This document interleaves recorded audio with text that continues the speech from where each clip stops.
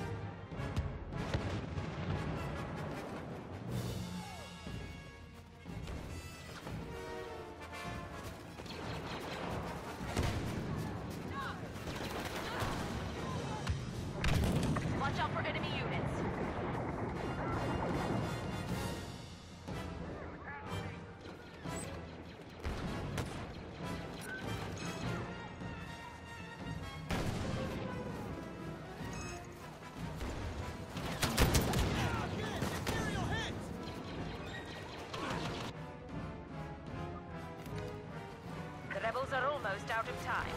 We have them now.